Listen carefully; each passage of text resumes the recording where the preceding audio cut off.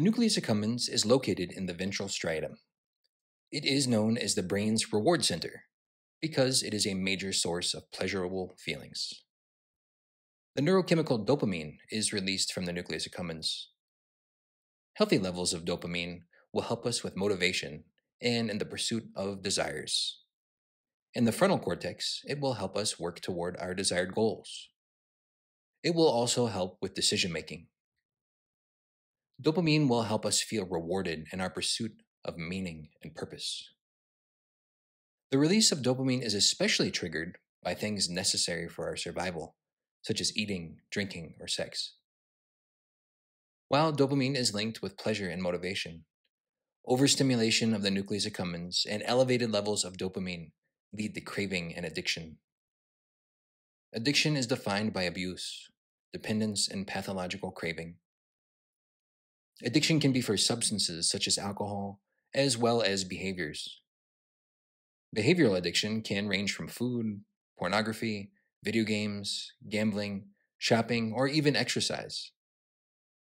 Common to various types of addiction is the hijack of the reward system. Numbing of the reward, tolerance, a large release of dopamine, and a weakened prefrontal cortex inhibitory response are all features of addiction and the hijack of our reward system. When we suffer from addiction, the reward actually becomes less appealing over time.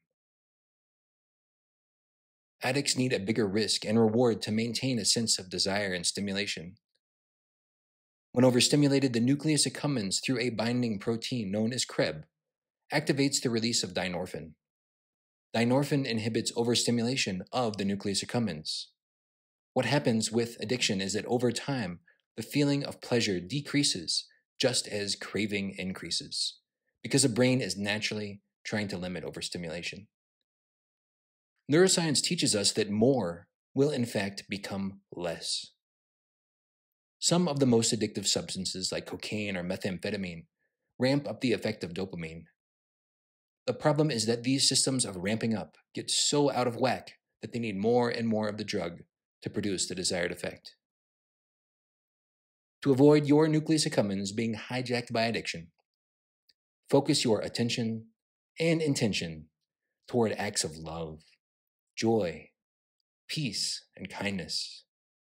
Making the fruit of the Spirit our motivation and desire rewards us neurologically as well as rewards the recipients of our kindness. What greater riches are there than love, joy, and peace?